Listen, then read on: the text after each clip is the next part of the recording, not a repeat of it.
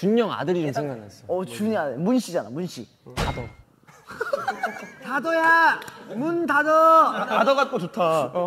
둘째 아들은 열어 어때 열어? 괜찮다. 열어야 문 열어.